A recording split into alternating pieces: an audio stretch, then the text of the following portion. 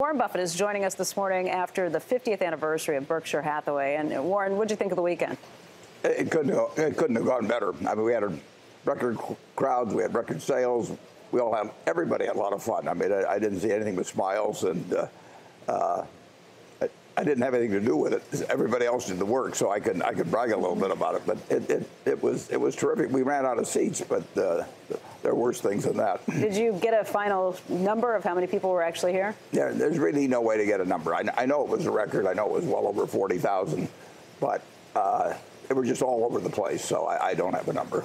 For almost seven hours on uh, Saturday morning, you sat and took questions along with Charlie Munger from your shareholders who were here. Andrew and I were both going through a lot of those questions that came in, and I'll, I'll tell you, I got thousands of um, uh, notes that came in from shareholders, thousands of questions. Um, but if you're looking for the most newsworthy topics, there were a few that came in much more frequently than other questions. The issue I think I got the most questions about was Clayton Homes mm-hmm. and an article that had been written in the Seattle Times. Um, this is an article that was written about a month ago uh, that uh, accused Clayton Homes of predatory lending practices and exorbitant fees when it comes to mortgages. You took on some of these issues, but can we talk through this right now? Sure. Okay, so what do you say, first of all, just to the premise of the article, that, that Clayton issues predatory loans? Yeah, well, Clayton does something very unusual in, in, in lending money. It, it keeps the loan. And uh, when a loan goes bad, there's two people that lose money the, the, uh, the person who owned the home and the person who made the loan and, and kept the loan. And if you go back to the 2007 8, the, the housing bubble, a good bit of that was uh, caused because the person that originated the loan immediately sold it or securitized, packaged it, and sold it maybe even in Europe or something of the sort. So they, they had no skin in the game. They, uh, they sat there and collected a, an origination fee and perhaps a servicing fee. But if the loan went bad, it didn't cost them a dime. Uh, Clayton followed um, a much more responsible uh, policy of, of, of, keeping loans. And if a loan went bad, it cost us money and it cost the, the borrower money. And so we had strong motivation to make good loans. Now, we were lending to people. 70% of the houses that were sold at less than $150,000 last year were manufactured homes. And we sold half of them. And there's no question that you're dealing with people with lower FICO scores, people whose jobs aren't as secure. And uh, so you expect some foreclosures in a situation like that. Our foreclosure rate has been around 3%. Uh, we've never had a loss to an investor on a securitization. Uh, we make very clear to the buyer of a home from us, we make very clear that they have a wide choice of whom they buy, borrow the money from. Uh, here is here's the loan form. Excuse me a second. Yep. Here's the loan form that every buyer sees and signs. And it's hard to read this. It's a it's yeah. A you might read the document. top of it. It's but it's but it's it's not much more than a half a page. Yeah. There's no small print. It may look small on a TV, but there's no small print. And at the very top. Wait one second. They're yeah, shooting in on this right now. Sure thing. Okay, but at the top. At the very top, it says we recommend selecting more than one lender to compare offers, and then we list the various lenders. And maybe they're a local bank, and there's a there's a uh, uh, credit union in San Antonio that lends. We lend, and we list the terms. And we also have a lender board in every retail operation, and that lists all the terms. And at the very bottom, when they finally decide who they want to send their applications to, it says by signing below, you are confirming the retailer or the employee did not recommend, refer, steer, or otherwise uh, otherwise influence your decision of lender or lenders to whom your credit application was sent. If for some reason you would like to send your application to an additional lender in the future, you may be asked to complete an additional copy of the form for our records. I think some of the specific cases, though, that this story laid out, they looked at four or five individual cases, maybe maybe even more than that. And in some of these specific instances, the allegations are that the Clayton Homes offered one family a 7% loan, turned around, it was a 12% loan that they later, they're painting it as a bait and switch, essentially. Um, and uh, obviously there are a lot of cases, but in some of these specific cases, it sounded like there was pressure that was put on some of these individuals. Well, all I can say is that 300,000 loans were made in the last three years, people frequently write me and complain about an insurance settlement someplace or they bought a TV set someplace of one of our stores or something. I have not received one letter, and all the letters get to me. I have not received one letter from Clayton Homes, and we've sold in that period maybe 75,000 homes. We have 300,000 mortgages, uh, and we have been examined in the last three years by 98 different state. Uh, well, we've been involved 98 times by state regulators. 98 times. We're, we're licensed in just about every state, and in 98 cases, uh, we were fined. Once we were fined 11,000, or once we were fined $5,500.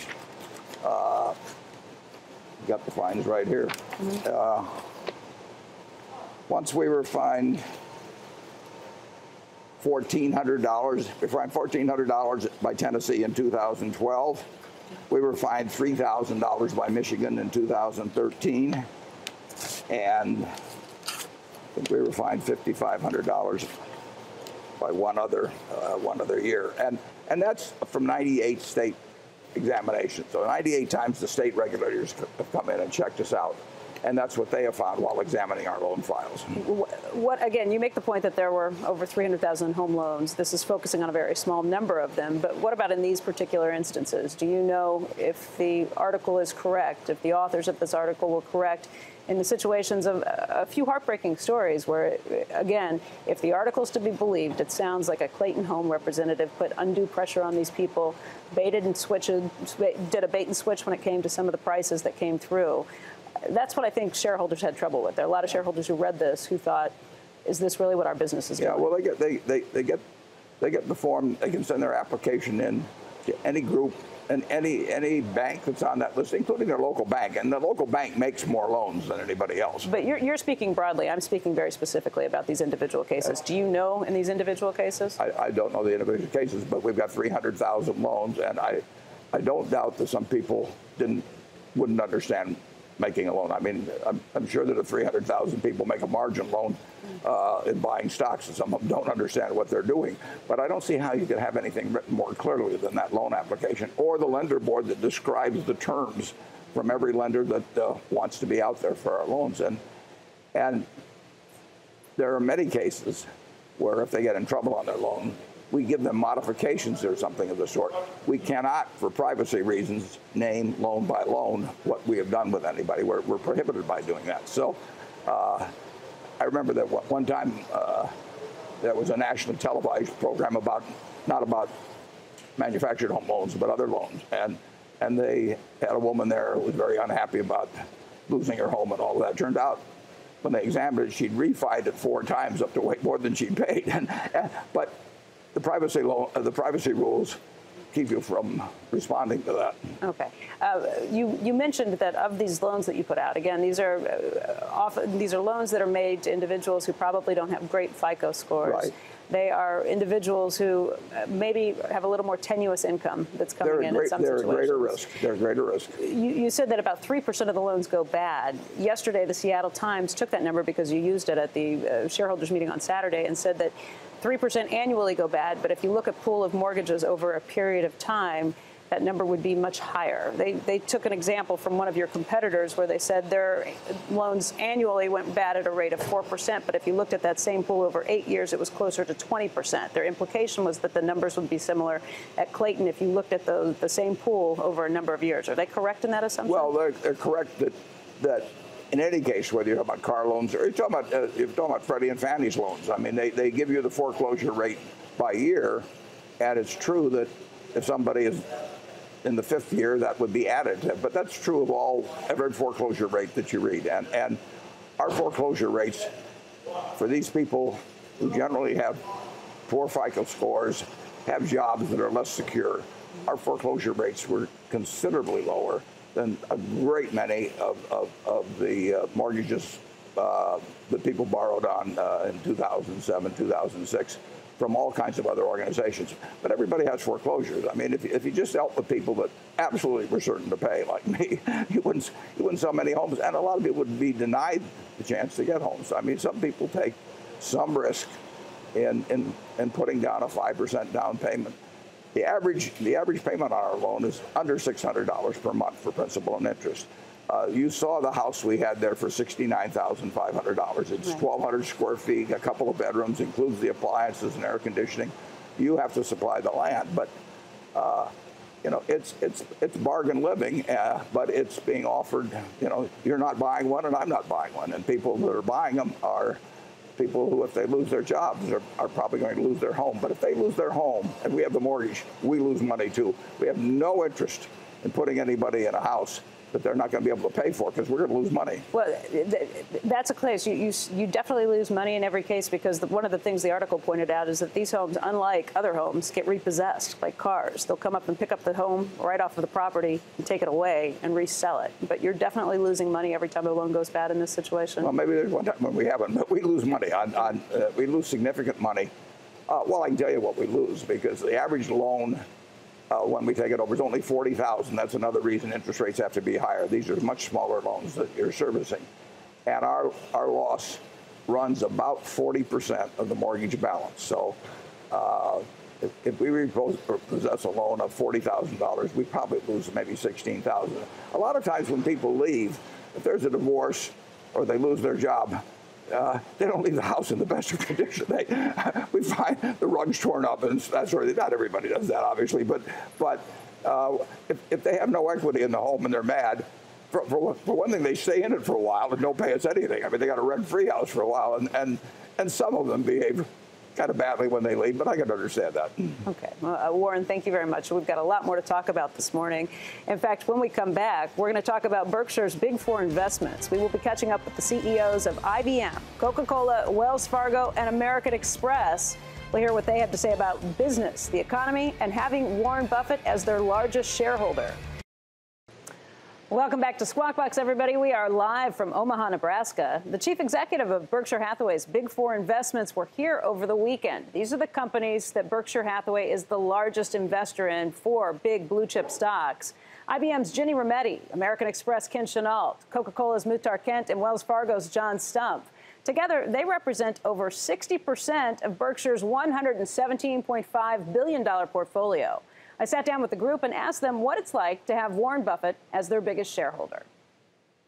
Warren has been with us the longest, and uh, he owns 14.88%, but who's counting? uh, and uh, it's really fantastic. One of the things I always talk about is that great leaders are people who capture the hearts and minds. And Warren captures your heart and mind because he's so passionate, so engaged, so authentic, and he wants to win. And so this disarming manner masks this fierce competitor, but he's a real gentleman. Anybody have things to add to that? We've been very fortunate to have um, Warren not only as our largest share owner since the 80s, but also on our board for 17 years. It's been a wonderful journey, uh, and it continues unabated. And it's uh, he was at our annual meeting this week on, on Wednesday. Everyone loves him, uh, and everyone he's able to simplify complex matters in just a few words, and I think that's an incredible uh, asset uh, Muhtar, all the time. You even got him to play the ukulele. Well, he, he's a great ukulele player, so I, I, it didn't take much. Well, we're the newest in his portfolio, and uh, almost 8%. And uh, I have to say, you know, having Warren, it's a wonderful thing to have someone who's got such appreciation for setting a gold standard for that style of investing. And I know, I mean, all of us are brands that have endured decades and decades and decades. And it is great to have an owner who has that view about investing, that you make the right decisions to create value for the long term, and that you keep moving your own company to higher value and balance that with shareholder return. I would add just what Ginny said. Uh, I talk to him not often, but maybe once a month or so, and it's generally about very long term things. And I said, Warren, you're 84 years old. And he's talking about things 10 and 20 years out. He really has long term views, and he understands the core element of, uh, elements of what builds shareholder value over a long term. It's so refreshing because we all have analysts we meet with every quarter, which we also love. but Equally. equally, but we really like our long-term investors. You know what's really interesting, I think, is Warren's uh, long term commitment, but the fact that all of our companies have really strong brands, and yet we're working with someone who probably has one of the strongest personal brands in the world. And so I think the congruence of having someone who really believes in a very strong reputation and sustainable long-term performance is absolutely critical. Well, Ken, let's touch on that point. You said that he has a very strong world brand himself. Is he different from other shareholders? Is it different dealing with him than it is other people, or is it just the perception because we know who he is? I- think for me, Warren has a very unique style. We have a number of different shareholders. I get along with them very well, but there's something that is incredibly engaging from the first time I met him. I, I, I agree with Ken. I, I, fi- I find him both inspiring. We learn, but if and I, I bet I don't share a unique sort of experience that he asks more questions, mm-hmm. and it, it is it is questions and it, great questions, and whether they're about the long term, about competitiveness, and it's just you know he listens more than he actually talks. But when he does, you always take away. As- There is not a meeting I have I don't walk away with a great learning. I agree with Ginny and Ken in that I think there is no one else that I know of that is as keen an observer of trends, of people, of countries, of what's going on in the world, not just in business, but just general trends. And being able to just bring those out in the most simplistic way and articulate those in the most simplistic way. And then the second piece is the fusion of humor and humility.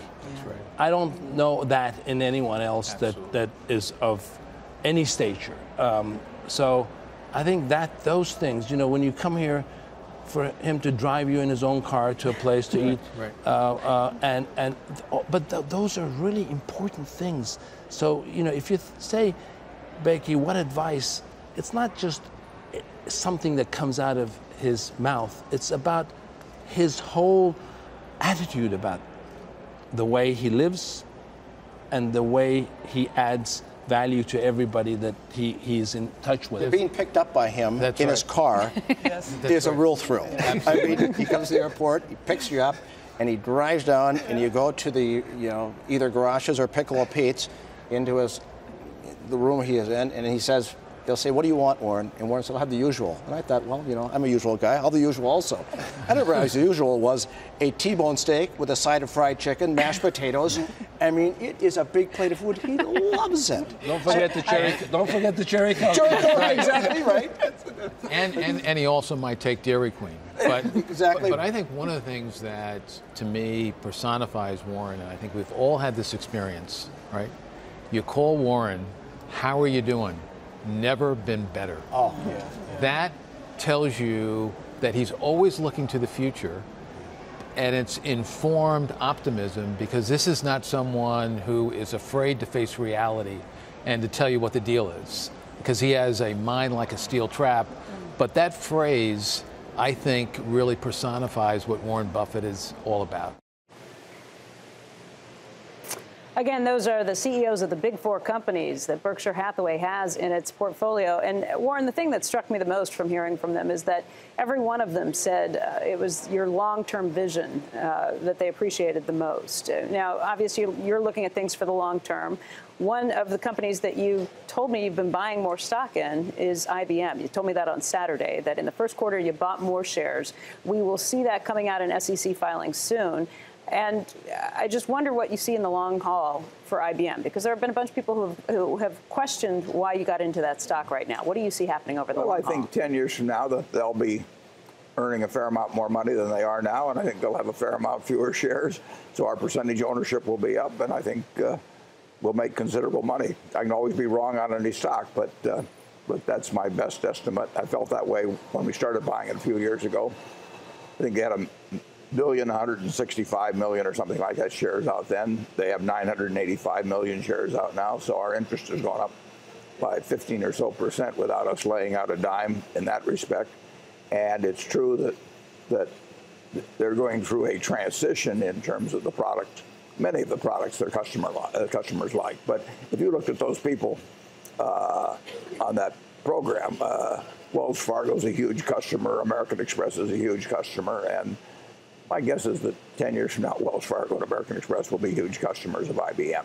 They'll be selling them different things than they're selling them now, but they'll be solving the problems that those companies have at that time. And and you know that that's my best estimate. I can be wrong.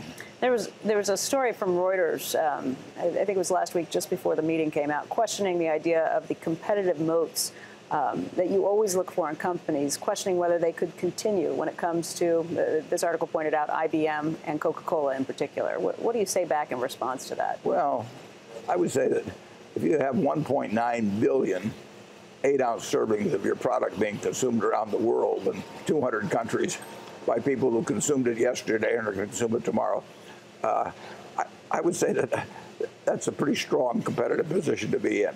If people like something today, they usually like it tomorrow. And, and usually as their kids come along and more people inhabit the world, they like it. So here you have a product, we'll take Coca-Cola. It started in 1886. And maybe during the war when they had a little trouble getting sugar or something of the sort, maybe there were some declines in, in total consumption. But per capita consumption of, of uh, Coca-Cola products is gone up almost every year since 1886. So you have to be doing something right. Our, our ketchup at Heinz, you know, started in the 1870s, and people are still putting it on hot dogs. So uh, I, I don't think I don't think somebody's, something's going to change dramatically tomorrow on that. Mm-hmm. Andrew, you have a question too. Hey Warren, how are you? Uh, one of the things you said, this goes back to Good. IBM. One of the things you said on Saturday uh, was there's been more stupid stuff and stupid stuff, uh, stupid stuff written and stupid stuff done when it comes to buying back stock. And one of the big questions about IBM, of course, is how much stock they've bought back over the past decade. I know you've supported their efforts to continue buying back stock. Do you wish that they had uh, bought back all that stock when the stock was higher? Well, I, I, I, mean, obviously, you'd like to buy every stock at the low tick, but that doesn't happen for them or for me. Uh, but overall, their stock repurchase program, and even I think it goes back even more than a decade, uh, has, has been dramatic and it's been enormously beneficial to the shareholders.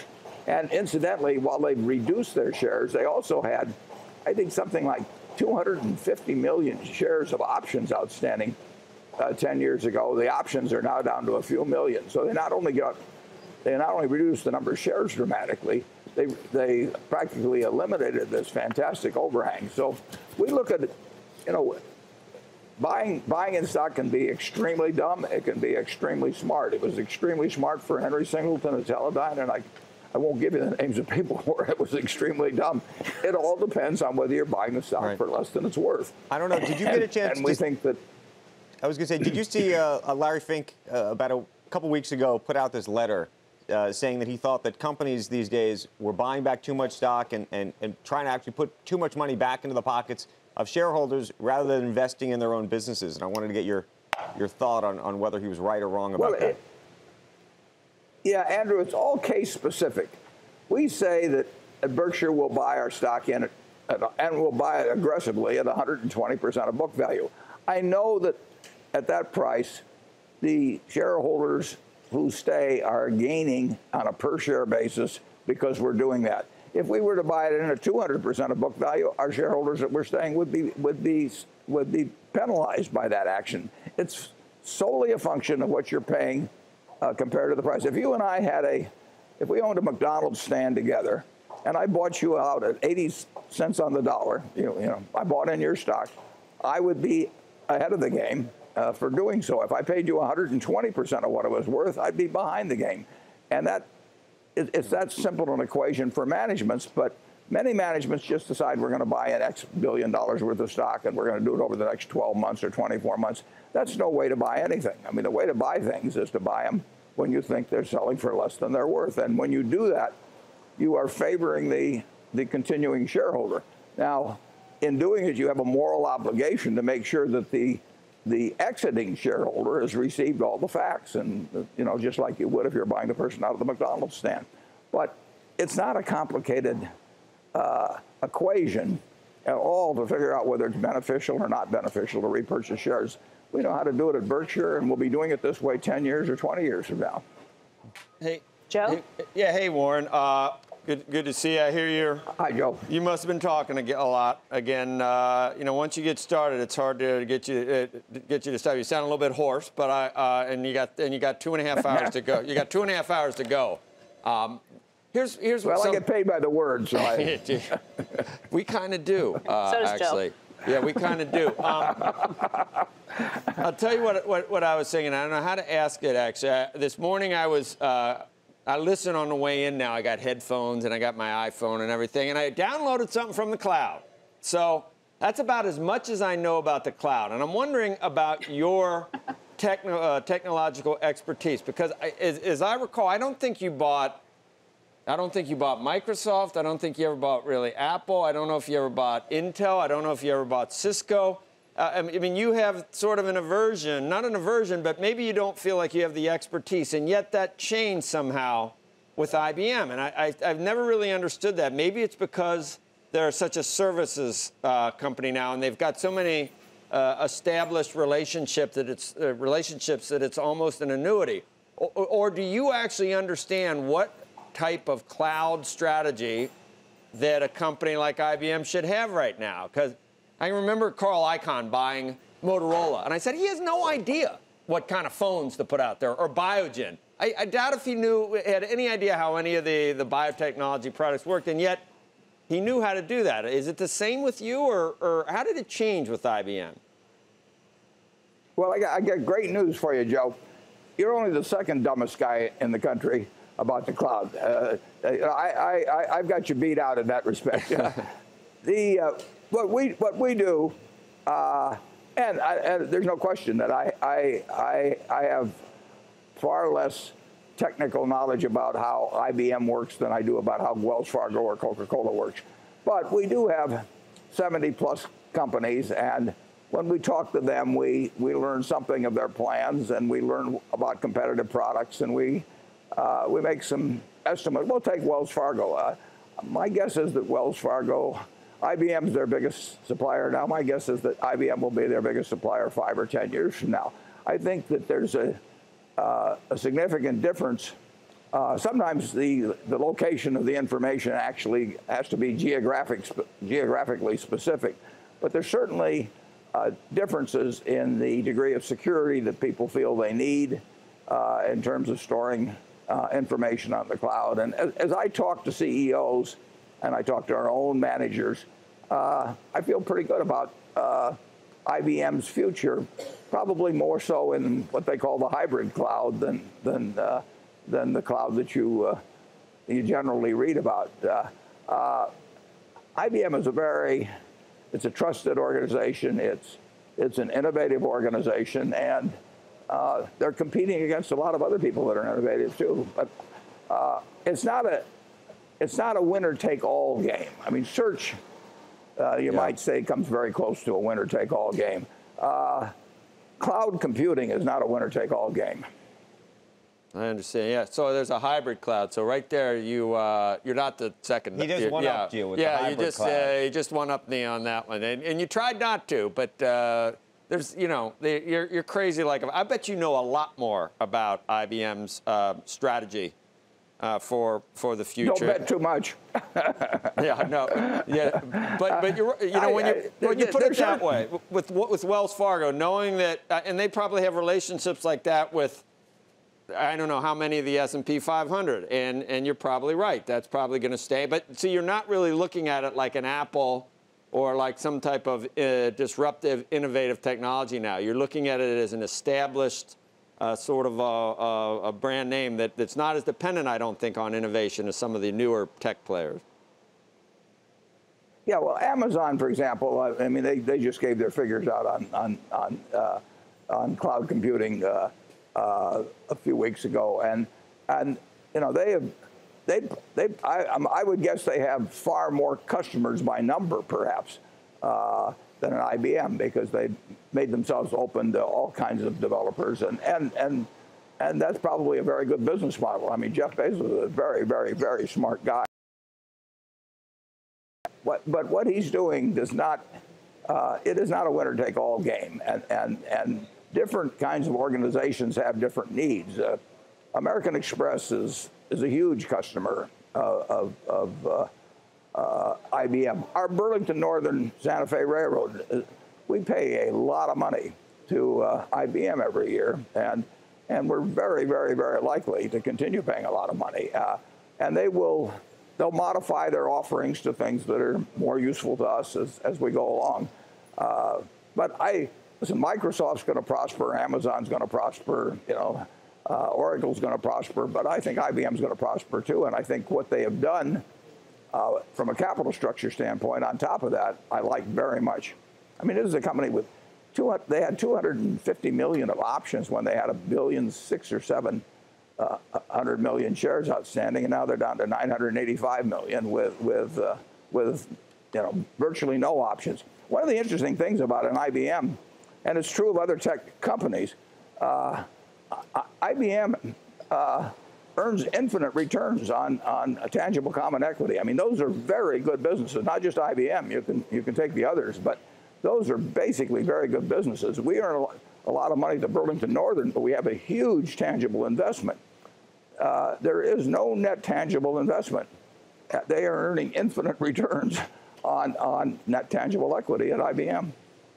All right, gentlemen, we're going to slip in a break very quickly.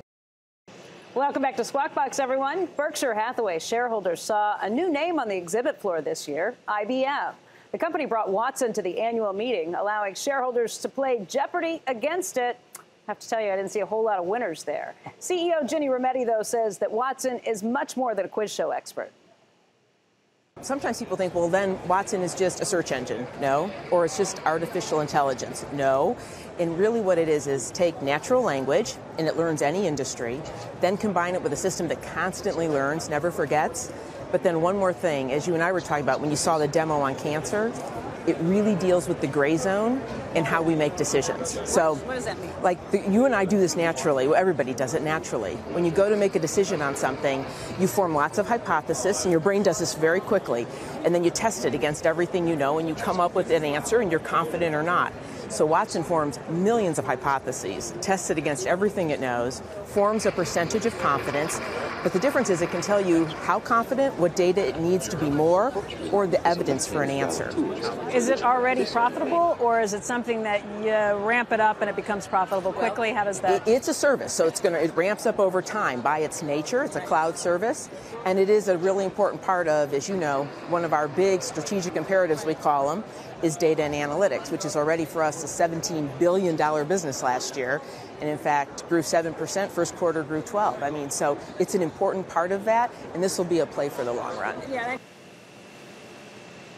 So, Warren, question for you. Did you get a chance to play Watson uh, in Jeopardy? I didn't get a chance to play Watson in Jeopardy, but I, I can offer a couple of interesting comments. The, uh, at Geico, we have we are spending millions and millions of dollars with Watson, and and uh, we've been working with it for probably a year or so, and uh, it, there are a lot of possibilities with it, and and we're learning a lot as we go along. I mean, we're not we're not to the finish point by a long shot, but we do consider it something of potentially uh, great value uh, in terms of our insurance business. Uh, the one thing I was thinking of doing this year was to work into the, my report the fact that there would be a third party at the uh, sitting up there with Charlie and Munger and myself at the meeting and have people speculating about this being my successor and maybe having a, some uh, having it hidden in some way and then unveiling it and waiting for the first question, which you could have asked and you could have said, well, let's get right to the meat of it. Who's going to be Warren's successor? And then have Watson rumble a little bit and finally say, I am sort of going back to HAL in terms of 2001. Right. Yeah, with, with, Geico, what are you using Watson to do? Well, we're, we're training Watson. Watson learns, and and basically with, but it, but it's not going to know anything that we haven't taught it. I mean, in terms of putting in the information, but it learns, and and it would be enormously valuable, for example, uh, just in terms of training thousands of of new people who act as agents for us on the phone. I mean, they have to be licensed and that sort of thing. And, and it can be, it may, and this is a long way off, but it, it possibly could could be uh, uh, responding to tens of thousands of phone calls that we get every day. Wow. day. And, uh, it, it can be helpful in terms of claims, and it, you know, it, it, it can learn a lot, and it can, uh, it can, it has to learn what humans mean when they talk to you. But I think the, the most exciting thing right now, of course, is, is, is in the health field because uh, you have millions of doctors around the world that can't, can't possibly keep up with all the scientific specialist information coming along, and they have you know, somebody, if I have prostate cancer, my doctor's seen maybe 500 people with prostate cancer in his life, or 1,000 and treated them, and, and he draws certain deductions from what this test meant and then that test meant. But imagine getting that in the millions and having that all processed. So I think, I think, I think a lot of things are going to happen in medicine. Joe has a question too. Question about the Geico headband on Freddie Roach, uh, Warren. Was that your idea? Did, I did- saw that. Did you know about that?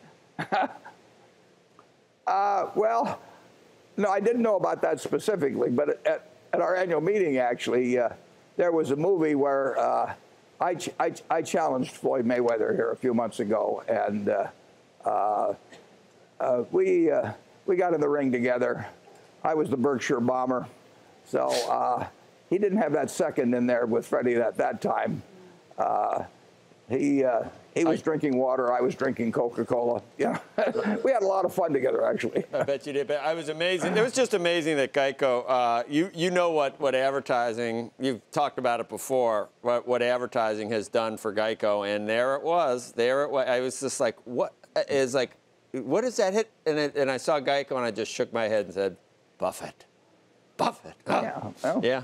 We we we spend a, we spend about a one point. I think we're the fifth largest advertiser in the United States, and and we spent 20 million or so when we took control in 1995, and we'll spend a 1.3 billion now. And uh, but advertising doesn't do you any good unless your product delivers what you promise, and and uh, obviously Geico's product does. So.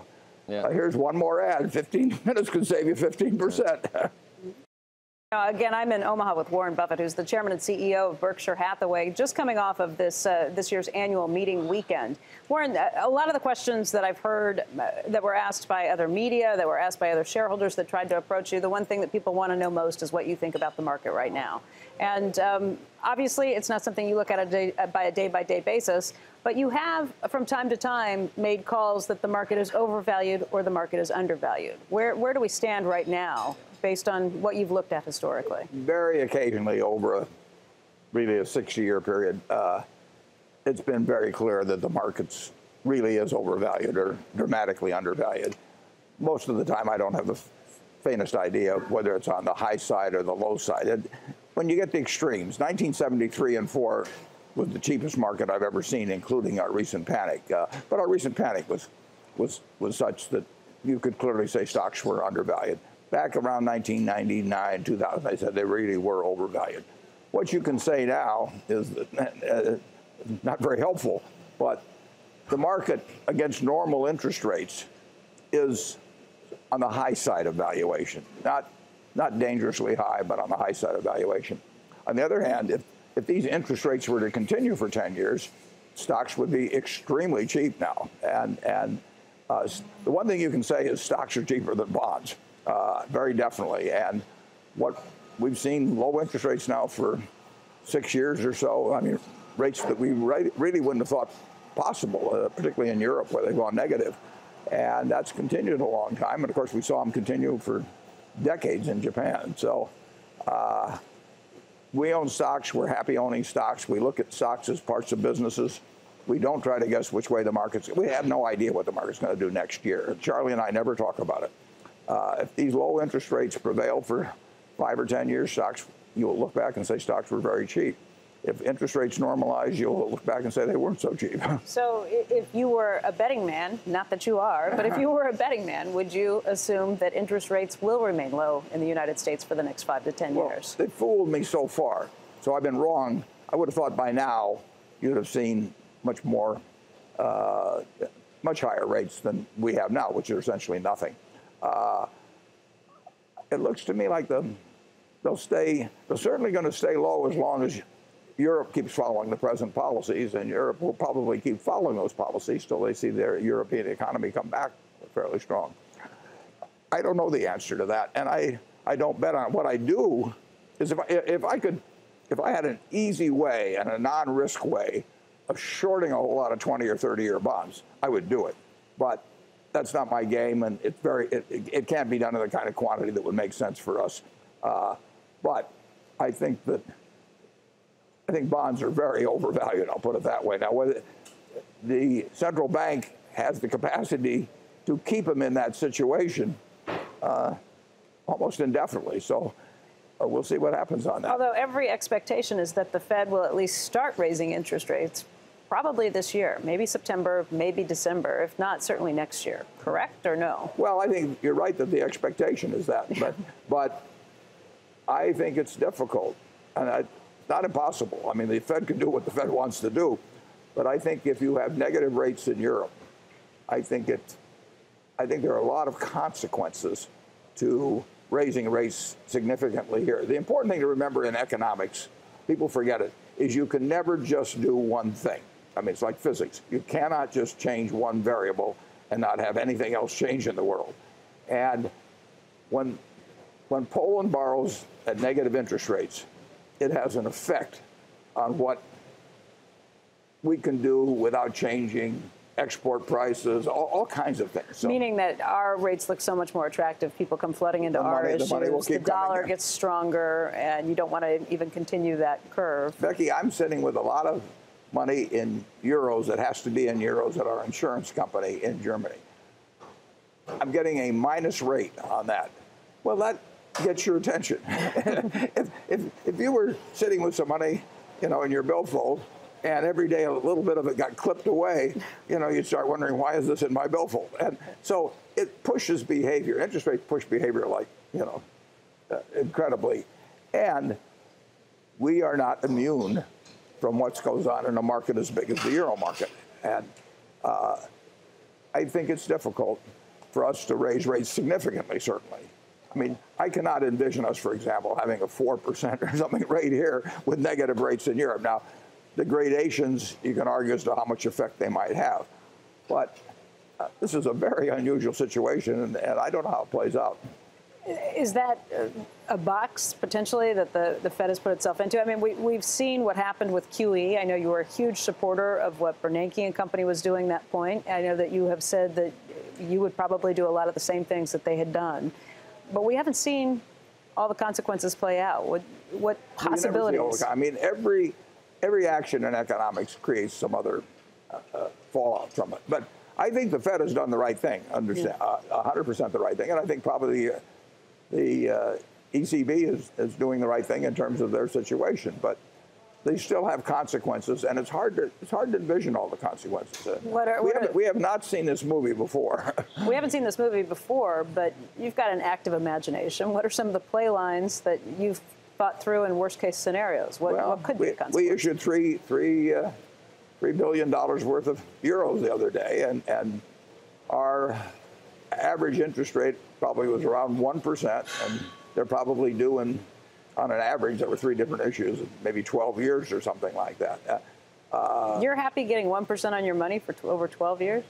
Oh, well, for the for the for the for I'm happy paying one Yeah, you're happy paying it, right? And incidentally, if rates go back to what seemed like normal not so long ago, you know, we might buy those bonds back at 60 cents on the dollar. You know, right? Uh, uh, well, we'll see what happens, but I don't think anything terrible is going to happen to me because I'm paying 1%. Maybe not to you, but what are the unintended consequences to the rest of the system? Yeah, that's hard to tell. Uh, historically, I would have thought the consequences uh, would be significant inflation at some point, and, and that has not happened. Uh, I mean, we've kept rates low here now for six years, and, and now you're seeing something even more extreme. And uh, you even have a central bank saying we want two percent inflation, and uh, so it's it, it's very interesting. And undoubtedly, we'll look back five or ten years from now, and something will have happened. We'll say, well, that was the obvious consequence. But I'm not. I, I can't tell you what the obvious. What about deflation in the Japanese situation? You, yeah. you pointed to that earlier. Twenty I, years.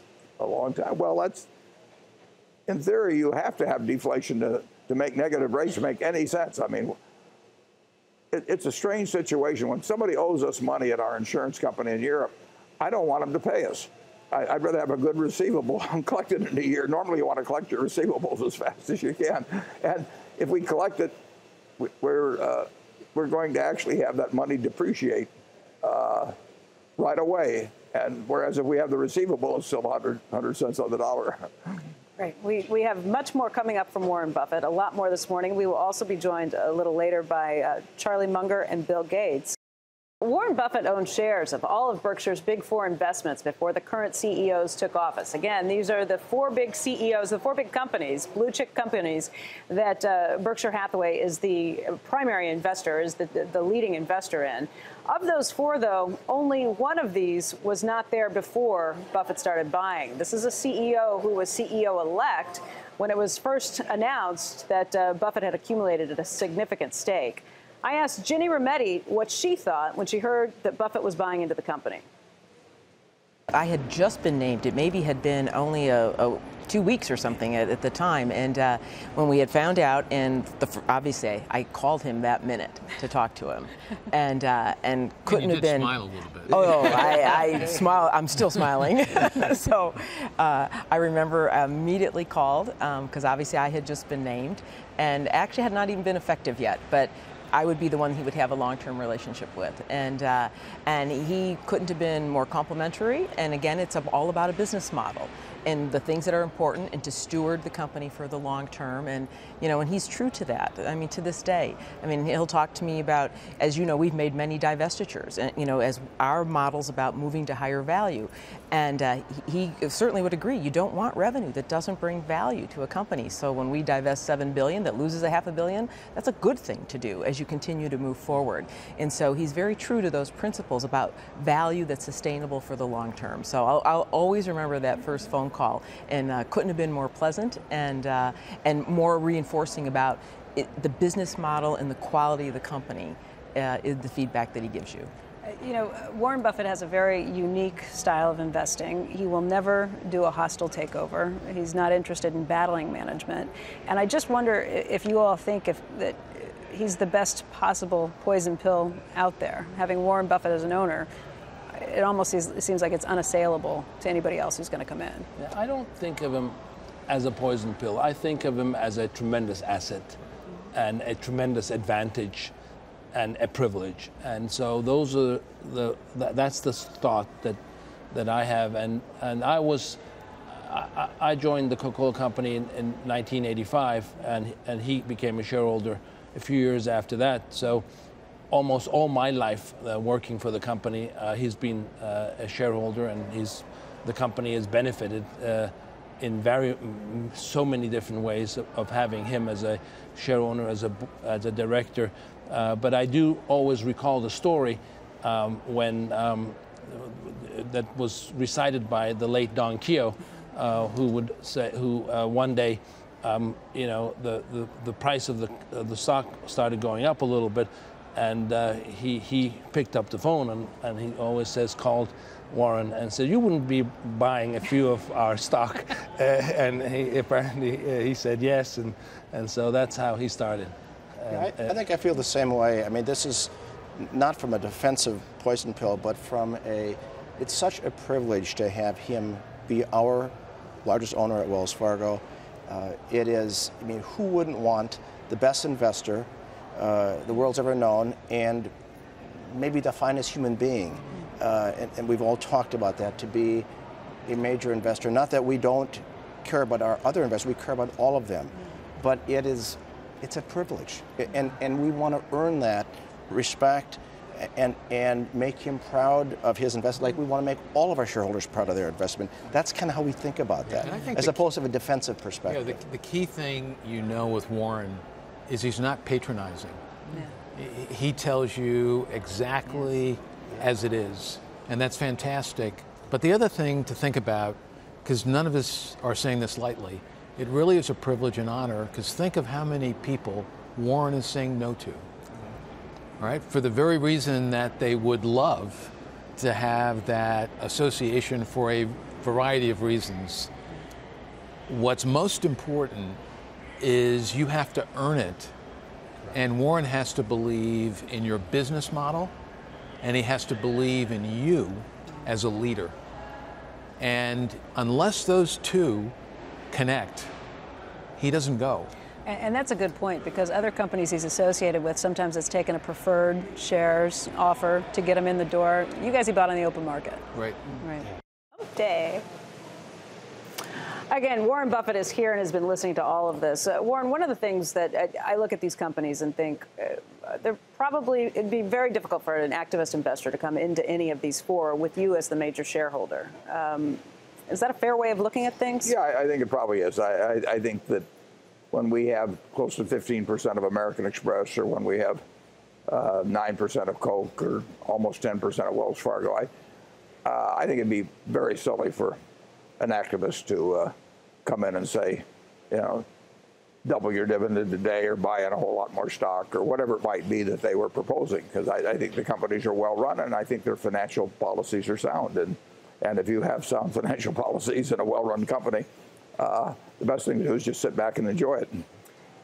The, the one company that has been approached very recently was Coca Cola uh, with David Winters and the efforts that, that he's undertaken. Originally, when David Winters came in, you said that you had given it some thought. You hadn't thought about it before, but you were looking at what he was proposing. And he, had a, he had a good point. His math was way off, but but he had a good point about the about the level uh, of the number of shares involved in the uh, in the uh, option program or restricted stock program and the period over which it would be issued. And so I, like I say, his math was way off. Uh, but but but uh, I, I agreed with him that that policy should be modified in some way. And uh, I commend the Coca-Cola company terrifically. Uh, the woman that headed the uh, committee, uh, Mel, yeah. yeah. the comp committee, Mel, uh, she she worked very very hard. She contacted other companies, she contacted investors, she thought it through, and they designed a program that made terrific sense for the shareholders and and uh, and and the and the management and directors embraced it. Why do you take this different approach to investing? The idea that you would never do a hostile offer, the idea that you would never um, really publicly get into things like this. Why?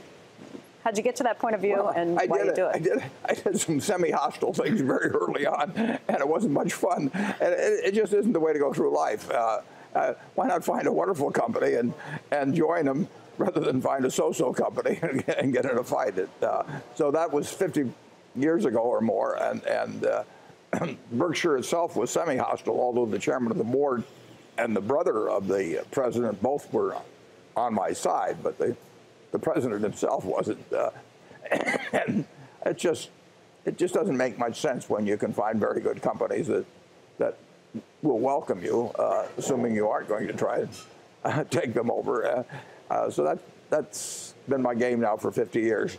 But I, I must admit that in, in there, there were a couple of instances in my youth where I, I took on what I thought were bad managements, and, and they deserved to be taken on, but it was not a life I wanted to live. okay, great. Um, again, we have much more to come from Warren Buffett when we return. Um, Joe, I'll, I'll, I'll, send it back to you in the studio, and um, going to open this up for a, a lot more all play uh, when we come back too. What about that house across the street from Warren? Did, did you guys see that? The, the, the person's asked. yeah, I did. The person wants 10 shares of uh, Berkshire. That just doesn't seem like a lot. Yeah. Don Keough lived in that house uh, 50, uh, 55 years ago. That, that, that, that's the exact house in which Don and Mickey Keough and their many children lived, and where I got to be friends with them long before Coca-Cola. Is that a good yeah, but price? ten shares of Berkshire is what? It's over two. It's over two million dollars. If if if he sell if that if they sell their house for ten shares of Berkshire, A, I'll be. I think I may be inclined to sell my house. Again, we have Warren Buffett here, and he's just come off of the 50th anniversary of his annual shareholders meeting. This was a, a packed town. There were more than 40,000 Berkshire faithful who descended on Omaha right here in this hotel, across the street at the convention center. Um, a lot of people that came to pay homage. But uh, there are always tough questions that come up, Warren, and uh, this time was no different. You and Charlie sat for six and a half or seven hours and took constant questions. These were questions that came directly from the floor from shareholders. There were three analysts of Berkshire who were on stage posing business questions, and there were three journalists who had been fielding additional questions from shareholders, a lot of them who couldn't make it to the meeting. Um, in going through all of those questions, again, Andrew and I were both here and saw thousands of questions that had come in. We talked about Clayton Homes earlier uh, this uh, this morning, and about some of the criticism that had come up on that front. But I want to bring up another three issues um, that we, we saw several questions on as well. Um, 3G is the company, the private equity company, essentially, that you have done several deals with. First um, with Heinz, and now with Kraft. And uh, we had several questions that came up from shareholders who were concerned that 3G's way of business is not necessarily the Berkshire way of doing business. 3G finds companies and goes in and tends to lay off uh, lots of people when they come into a company, maybe an underperforming company, but it seems like it's a little tougher management than Berkshire generally does. Uh, would you agree with that? Well, yeah, they they go into companies where they feel that uh, that they're inefficient in one way or another, and they proceed very quickly to make them more efficient. Whether it's having losing plants uh, in, in, Heinz, we found uh, they found, uh, but I'm on the board, so I'm aware of it. Uh, they found that there were certain plants that were losing money, been losing money for years, and frequently, when you have a very profitable company, they just tolerate such things, and 3G does not. They, they, they think you're making uh, very good money, uh, but you have plants that are losing money or products that are losing money, or you have the opportunity to bring on new products that will make money. They believe in taking the actions they would take, uh, whether the company is profitable or not. And they believe in doing it promptly. And from everything I've seen, they do it not only uh, sensibly, they do it humanely. Uh, so I, uh, Berkshire just, when we buy a company, the people that were managing it before keep managing it. And usually they manage quite efficient operations. Uh, and we like to buy companies like that. But, but 3G is perfectly willing to take on something where uh, a lot of improvement can be made, and then they do it. Is it fair to say that you would have never bought shares in Heinz or in Kraft recently? You used to own Kraft, but you sold out of it. Is it fair to say that you would not have gotten involved with those companies if it weren't for 3G management coming in? Sure, they, those companies needed uh, management uh, uh, that would make changes, and and they were spending money they didn't need to spend, quite a bit of money they didn't need to spend. And, and, and I knew that 3G would do something about it, whereas if I bought it, I wouldn't have done anything about it. I would have left the old management in place. Mm-hmm. Andrew uh, was here this weekend too, and I know he has a question. Andrew? Hey, Warren, on 3G and their approach, you know, one of the questions is you're a long term shareholder. Uh, and they've positioned themselves to be a somewhat long term shareholder, though more like a private equity investor. Do you have any concern or worry that when they cut, they don't just cut, uh, you know, the fat, but they end up cutting the muscle, and they maybe get down to the bone, and, and what that means from a long-term perspective, meaning they can uh, maybe eke out some great profits in the next couple of years ahead, but what that does to the business, you know, 10, 20 years down the road. Yeah, well, I, I think I think they'll be in the business 10, 20 years down the road. They have they, when they went into the brewing business, they started with a little brewery in Brazil, and now they have Anheuser-Busch, and they're not going to sell Anheuser-Busch. And they started with Burger King, and they're making a lot of progress at Burger King. And they're not going to sell Burger King. They're going to they're going to make it larger. And the same way with Heinz. We, we did not buy into Heinz to sell Heinz. We bought into Heinz to grow Heinz, as did they. So it is true that the the, the, private equity firms generally have some timetable the when they want to get out of a, uh, an investment. Sometimes they get out just in a couple of years. Uh, 3G and we, but we're their partner. 3G has my, uh, no plans to do anything but build the businesses that we've joined them uh, with, and, and they've shown no indication to do anything else uh, throughout their history. They are in they're in a retailing operation in Brazil that they went into 20 years ago. So they are builders.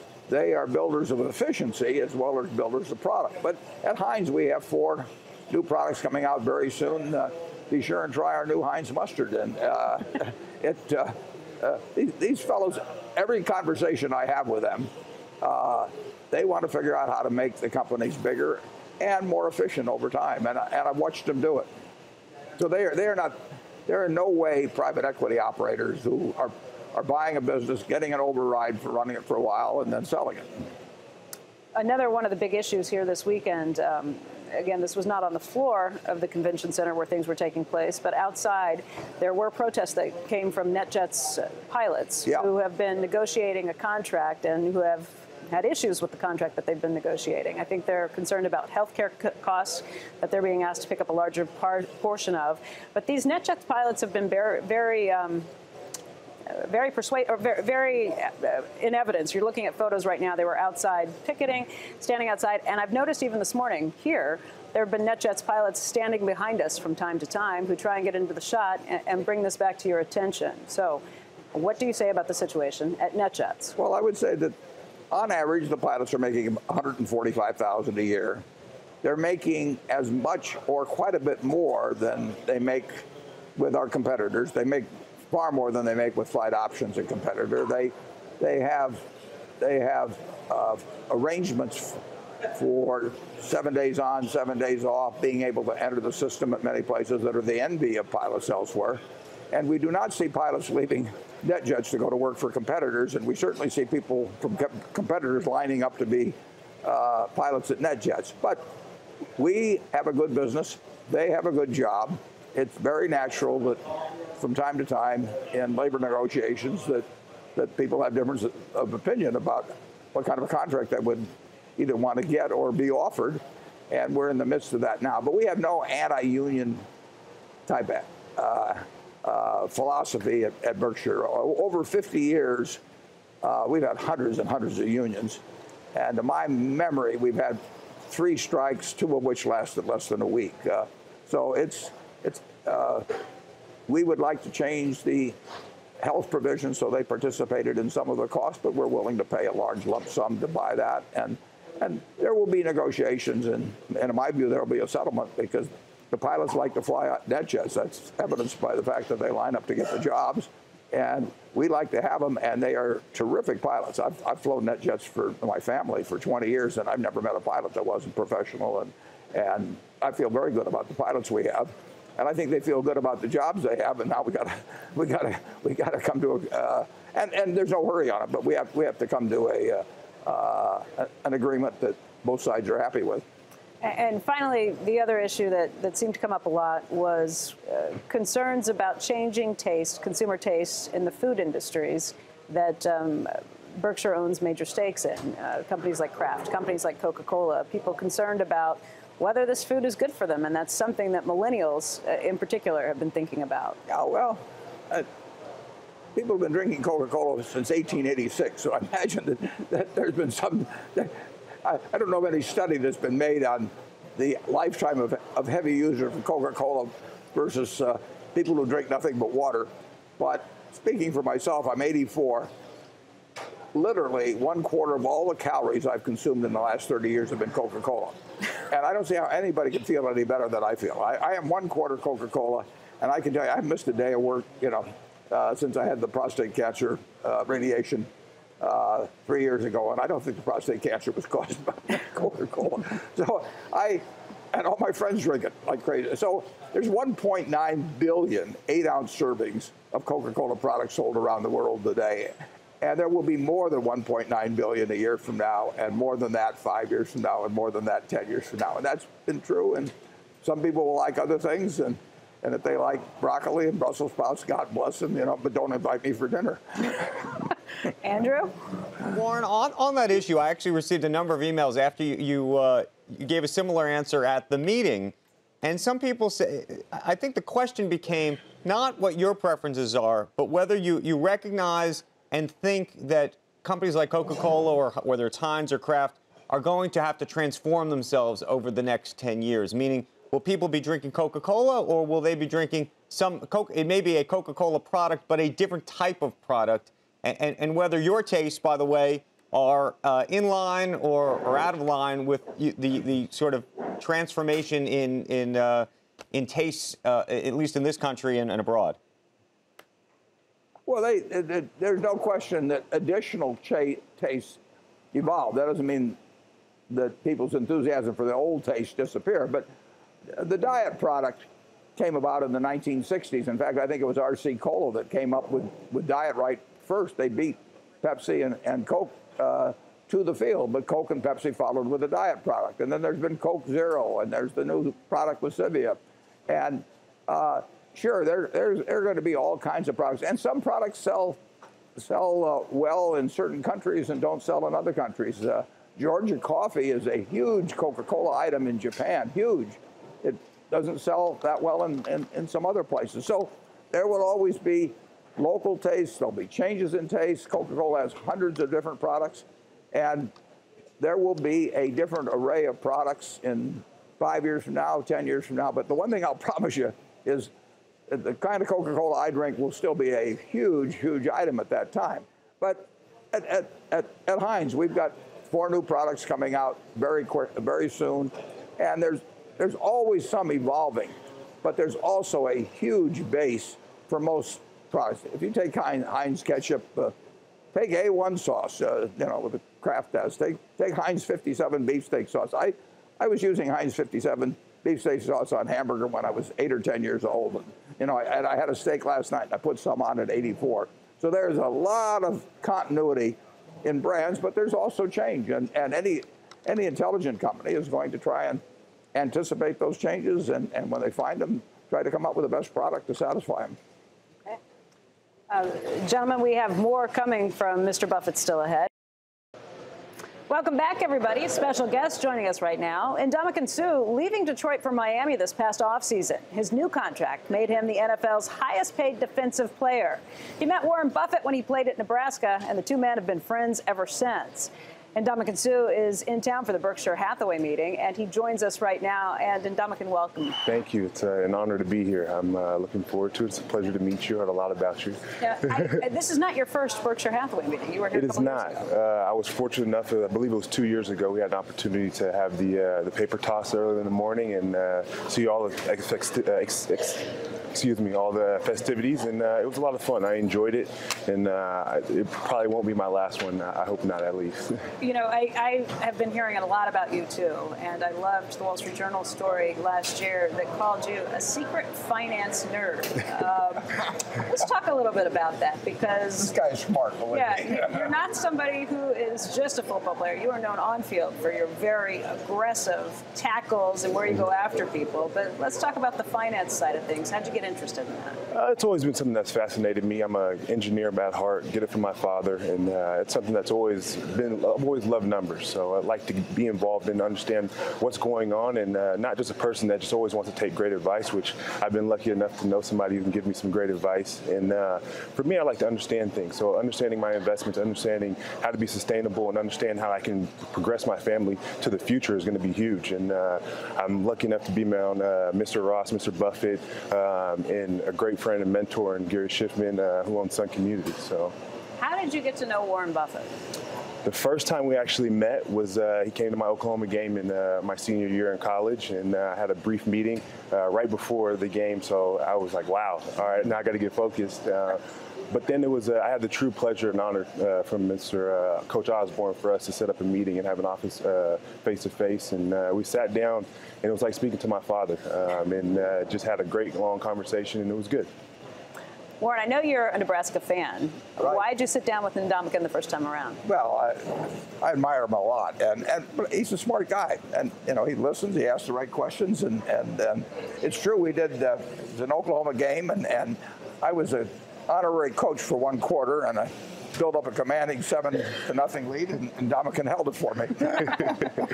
uh, and Ndamukong, what you're talking about is something that's actually very important for um, other football players, other athletes who go through it. There was recently a study released that showed one in six NFL players filed for bankruptcy within 12 years of retirement from the NFL. I mean, that, that's kind of stunning when you think about people who are making an average of over $3 million through that career. No question. It's something that uh, we definitely, as athletes, need to make sure we understand, and uh, it's really financial literacy literacy that we all have to become sharper in. And uh, at the end of the day, it's about educating ourselves and finding people. We, I mean, I'm a guy that I feel like I'm fairly smart. I get compliments, but at the end of the day, I don't know everything. So it's asking questions, having an opportunity to go and meet different people that can show you the ropes of it and understand. And uh, that's where I think that that's where we lack as athletes. We feel like we're we're kind of untouchable. And nothing's going to go wrong to us, um, especially when we're in the limelight and everything's going well. But you got to understand, it's football is only for so long, and uh, that's something I earned, learned at a very early age.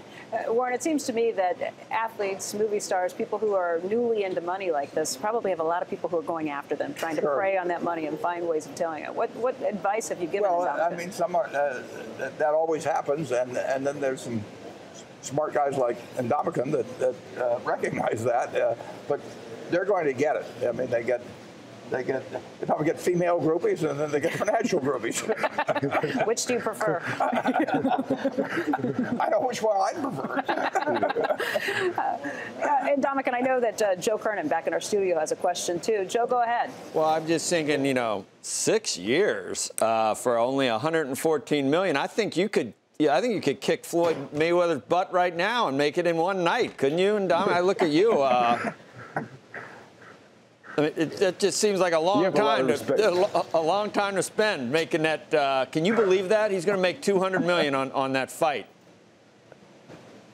No, it's a, it's a great, great opportunity for him, and uh, I would I would love to be able and have a lot of respect for that sport, but uh, I don't know if I could cut down to 145 or something like that. That'd take, that'd, that'd take a lot for me to get down there. So Yeah, that's uh, I think I'm going to stick to where I'm at and uh, stick to my daily workouts where I can be around the 300s. Let me ask you a ser- Both your legs. Yeah, It's 145. let me ask you a serious Ndamukong question. And I, I Uh, both thought about it, but Uh, Ndamukong, have you seen? Ahead, did Joe. you did, did you get to watch uh, Leonard Williams play? Did, is he got? They said he might have been the best player, uh, uh, you know, for, for the draft that the Jets ended up picking as far as a, a defensive player. Did you get to watch him? Do you do you get the feeling he's going to uh, be as good as you are?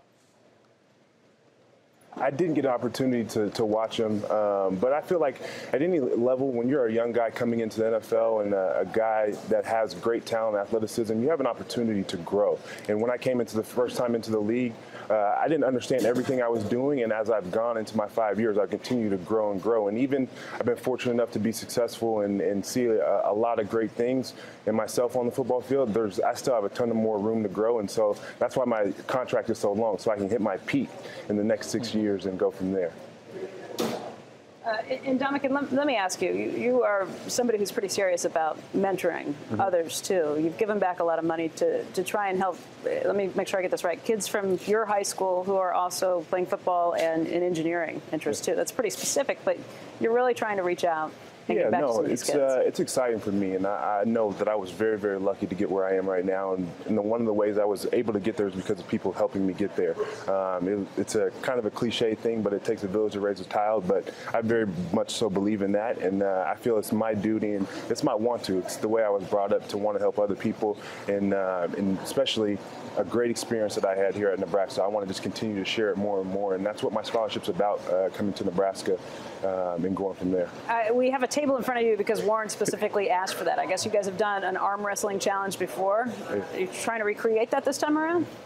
I'd be I'd be delighted to. I You won last time, right? I, I, well, I wouldn't have brought the subject up unless I had. What did you do? You must have completely Well- distracted him before. I I felt it was only fair to give him a return match. Yeah. We're ready. I'm game. Are you ready? Any chance? Doc? I am. okay now. Okay. You ready? I'm ready. Okay. I'm toying with him. I'm toying with him. Watch it. Just let me know when you want me to give it to him. Becky, tell me when. Go. Oh, oh, oh, oh. Okay. Smart he's man, just- Ndamukong. I am. I am. At least this time he didn't make me sign the affidavit. So. No, I, I had to sign a release last time. If I heard him, he wouldn't sue me. Well, Ndamukong, thank you so much for joining us today. It's really a pleasure meeting you. Thank you very much. It's an honor. Thanks again for having me. Appreciate it. IBM announced last week that it would raise its dividend by 18%. That marks the 20th straight year that the company has increased its payout. Shares outstanding, by the way, down 17% since Ginny Rometty took the helm in 2012. I asked the IBM CEO, who was here at the Berkshire Hathaway meeting this, this weekend, what investors should be reading into that news.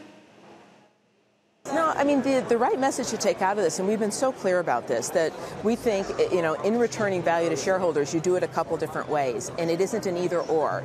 So we can and do invest in our business and what we need, as you know, whether it's R&D, our acquisitions, our capital, and we line it up, and it's been very consistent, 10, 11, 12 billion dollars, and then as well you can return to shareholders. And so what you saw, the uh, 18% dividend, which is the 12th year that it was uh, double digit, and 100th year that we have paid one, right, is our ability to balance these two things. And I think that's, again, got a lot to do with always this view of a business model, which is keep moving to higher value, at the same time, do the right decisions to sustain the company and reinvent it for the long term, and balance return to shareholders.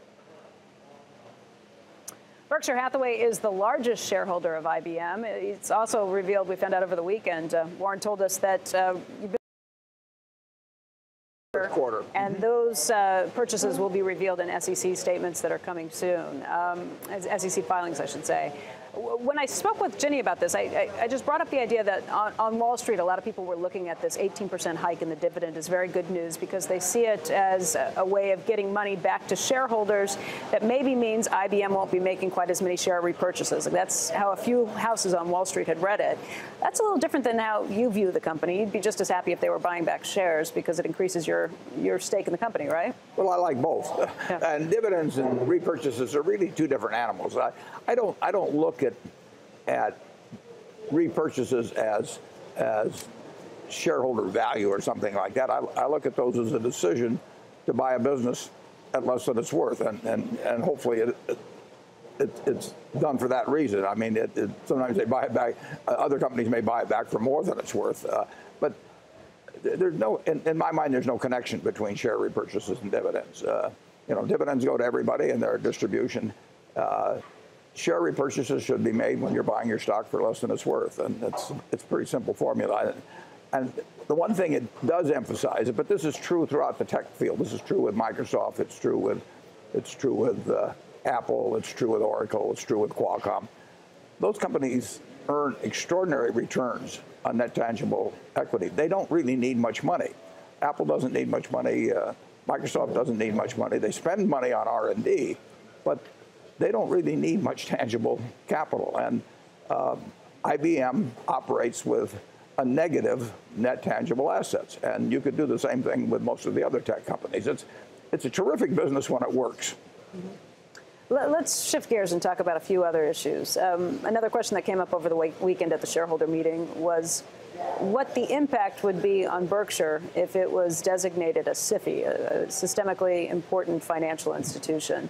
Um, what what do you think about that? First of all, the likelihood of that happening, and, and second of all, what, what would it mean? Yeah, well, I, I, I, really don't think there's any likelihood. We've not been contacted. They certainly know we exist, and as I understand it, with Metropolitan, they spent a year before anything became public and had lots of conversations with them, and that just has not been the case.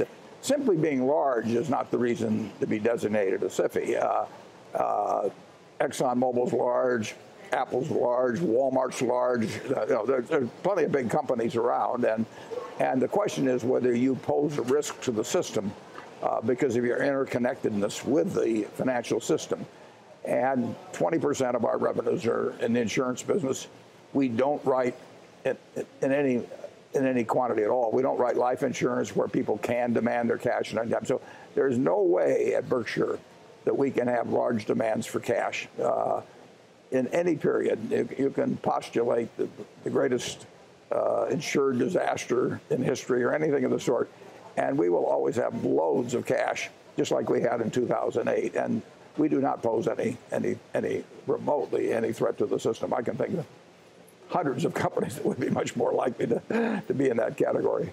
Warren, let me ask you about a move that President Obama is continuing to push this week. He is going to be getting aggressive, uh, continuing to be aggressive with pushing trade pacts um, and trying to convince the House um, the Senate and the House, but uh, particularly the House, to go along with some of these issues. His plan, I think, is to go visit Nike later this week and talk about the importance of open trade between uh, Nike and uh, between us and Asia for companies like Nike. What, what, what do you think about this? Because there are a lot of Democrats in the House in particular that think this is bad for American jobs. I can't tell you anything about the, these specifics, but overall, I very much favor trade, and, and it's good for the world. It's good for us. It's not good for specific industries at times. I mean, there's no question that if you, the more the world trades, uh, the more specialized uh, certain industries will be in terms of where they'll be located. Uh, there are places where there's natural advantages to doing. You better try and raise bananas in Central America, and you better not try and raise them, you know, in, in Nebraska. So there, but trade benefits both sides. That's why that's why there is a trade. I mean, you know, you're uh, you're trading your services to CNBC, and they think they're getting something out of it in terms of viewership that makes it worth, worth their while. And trade, we have 13 or 14 percent of our economy in, in exports, and we have somewhat more than that in imports. It would be better if we had even more exports and imports. Uh, it means countries are doing what they do best, and they're getting things that they don't do as well in producing. And so I am very pro-trade. I, I don't know all the specifics of the specific uh, this act. Okay. Uh, Mr. Buffett, thank you. We are going to continue this conversation, but we have some special guests that will be sitting down with us in just a moment. Welcome back to Squawk Box, everyone. We are speaking this morning with Warren Buffett, the chairman and CEO of Berkshire Hathaway. Also joining us right now is Vice Chairman Charlie Munger and Berkshire board member and Microsoft founder Bill Gates. And gentlemen, it is a, a pleasure to have all three of you here this morning. Thank you. Thank you. Um, we get the time from from time to time. We get to sit down with you three. I've been thinking of this as kind of a brain power hour. You are three of the smartest people on the planet. I know that your conversations with each other often get into world problems, world issues, and how you see them. Uh, sometimes you see them the same, sometimes you differ with each other. And I was hoping we could just kind of have a conversation and let the viewer spy in on the conversations that you three have with each other um, all the time. So I'm going to throw out issues and then step back and let you guys um, debate it and, and discuss it. Why don't we start with energy? Because I know this is an area that all three of you have a lot of knowledge, have a lot of interest. Uh, Bill, TerraPower, your fast nuclear uh, program that you've been building. I know that the two of you went to the Canadian oil sands and checked things out there. And Charlie, uh, uh we have been huge fans of your thoughts about how American independence, uh, energy independence, is a stupid idea. So why don't we start things off with the question, what are we doing right in this country right now? What are we doing wrong? And if you were in charge, how might you change things? Bill, can I start with you? Sure. Well, the shale oil phenomena is a fantastic thing for the United States and for the world. Um, those resources, people did not think they could be unlocked, and now uh, the U.S. is the world's biggest oil producer. We still import a lot, but with the right increase, uh, North America as a whole uh, is likely to get to a point where there's almost no import taking place, and that's a good thing. The toughest thing in energy, though, is we have climate change, and so over time, you have to shift to sources of energy that don't emit CO2. And natural gas is a reduction, uh, but it, it doesn't get you where you need to go. So things like renewables and nuclear need to come in and be a gigantic part of the mix uh, within the next 30 years. Where, where are you right now in terms of your nuclear project and, and what the promise is? It's early stage. Uh, we're hoping in the next couple of years to actually start building it. Uh, we're talking with various countries, including China, about uh, where it should be built. And uh, nuclear doesn't move at the speed that computer technology does. Uh, things go well uh, by 2025. This new design, the prototype, will have proven itself, and so other people will want to build it, and it could become a significant contributor. But it takes a decade for that prototype to prove itself. Charlie, Bill just said something that I, I, know you disagree with the idea of American independence on energy, the idea of whether we should be exporting our, our, resources, and the idea that we should even be using them. Could you explain why you think that's a bad idea? I'm not sure we disagree. I think it's great that we found all this shale oil, but I want to conserve oil and gas in the United States to the maximum extent we can. So I'm not in a hurry to have energy independence. I'm glad to use up the other fellow's oil and conserve our own. I don't see any real substitute for oil as a feedstock and so on, and uh, for running airplanes, and, and and so I want to conserve it. So I'm not worried. If there were no threat to climate change, I would be totally in favor of shifting rapidly to renewable power, sun, wind, and so forth. And Bill and I would disagree. He may think climate change is more important than I do. But I really want to conserve it. I wouldn't export a damn item of oil or gas if I were the despot of the world. Let- Let's talk about climate change because you did make some comments at the meeting over the weekend where uh, you questioned what some people who believe in climate change are, are actually doing at this point. I'm much more afraid of running out of hydrocarbons than I am of climate change. Climate change, 30% of Holland is under sea, sea level. If we have to s- spend a few percent of GDP to adapt to climate change, I think we can. I know of no substitute for hydrocarbons if we ever ran out. Warren, where do you weigh in on this conversation? Well, I, I, I certainly think that if there's a finite, we never, we've always underestimated the amount of, of oil and gas in the world, and now we just had this big revision in terms of what we can do with, uh, with shale techniques. But, but uh, on balance, I would use the other guys. I mean, I, I would always have enough for strategic uh, reserve. I mean, you don't, you do not want to be without oil productive capacity or lots of oil if something should happen in the world where you needed to have your own independence. But, but uh, you know, it, for something that's very precious. You know, Charlie uses the example of topsoil. I mean, we have, we have great topsoil in much of this country, and we wouldn't dream of exporting it. You know, it, it's, Yeah, it's imagine s- exporting the uh, topsoil of Iowa. People would think you're out of your mind. I think the hydrocarbons are just as precious as the topsoil of Iowa. Yeah. Although the argument that comes from people like Boone Pickens is that you need independence and from uh, energy independence from other places because you are taking our money and shipping it to people who don't like us, and that creates I don't think as he's well. thinking long term enough. Yeah. Bill, you want to They're weigh in on that? well, but they're shipping a very valuable asset to us uh, in return for little pieces of paper. And uh, over time, uh, uh, 500 years from now, you know, there will be hydrocarbons needed. And, and uh, if you really have the long-term interest of the country, you use the other guys. I mean, one of the advantages of being a rich country is that you don't have to use up your most precious assets. Yeah, energy is fungible. So there's nothing magic about hydrocarbons. You, you can make, if you have energy, you can make hydrocarbons. So to me, restricting the market, uh, there are people who think we shouldn't be allowed to export natural gas. I don't see any real reason why you would restrict that. I'm, I believe in free trade uh, in this and, and, uh, and other things. Let's shift the conversation to education. Um, Bill, obviously, you're well known for your support of Common Core, and you have spent a lot of time and effort and energy trying to fix uh, the education system in the United States. But I'd like to hear from all three of you. This is a big problem that we're faced with right now. Um, it's a problem that seems like it's very difficult to move the needle in it when it comes to attacking this. But if you were education czar and given free power to change the American education system, what would you do? Well, one piece of good news is that the charter schools are doing a very good job of educating kids in the inner city where typically dropout rates are very, very high and very few kids go to college.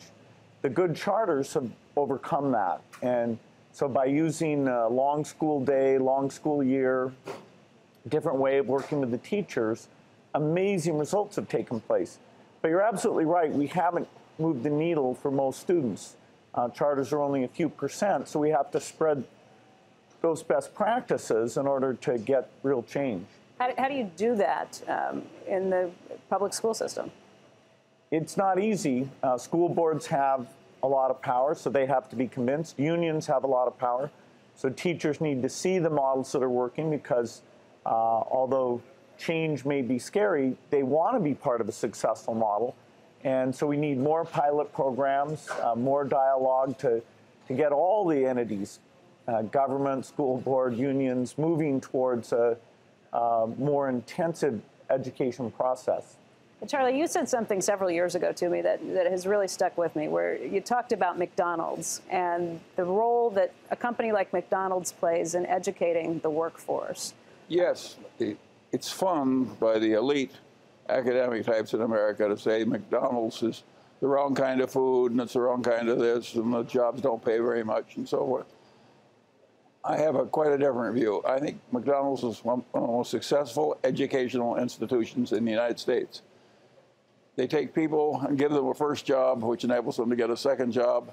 They do a very, very good job of educating troubled young people to be good, good citizens. And they're probably more successful than charter schools. So, I, so I am a big fan of McDonald's. I stop by there many mornings. I first of all put my order in at the little, and then I and then I go where I pay for it, and that person's very nice to me. They know me by name now, and and and. Uh, uh, we have a nice interchange. then I go and pick up the food a little further down the line, and they tell me to have a nice day and everything. Those people are learning very good habits. They've got to be there at a certain time. They have to they have to learn how to count money and price items, and and they have to learn how to smile at people and and and, and have happy customers. And you know, I've seen it work. I, I, I see dozens of them just at this one McDonald's I go to over time. Warren, what would you do if you were uh, uh the education czar? If you could well, change the, things? The, you know, we, we are spending the money. I mean, it, it, so it isn't like there's any lack of resources going into it, and it's it's ungodly intractable. You know, the the system. Uh, uh, half facetiously, but half. I would if, if every if the only choice available were public schools, we'd have better public schools. But the, the wealthy in many, many cities have opted out of the public school system. I mean, they, and they may they may vote for the bond issues out of conscience, and they some of them may engage philanthropically, but with their own kids, they send them to private schools, and and uh, by having this division, essentially between rich and poor in schools, the the rich get the education they want to get for the, the, their kids, and, and, and a lot of them have a conscience, so they try to do something for somebody else, but they don't try the same way as they would as if their kids were in those schools. But you just said that it's not an issue of resources, that we have enough money. You oh, think the it's money, the rich brain power, the educated people not Bill focusing know the figure, but I think we're probably spending $12,000, you know, roughly, and uh, it's a lot of money. And, and it's gone up over time in, in real terms, very significantly.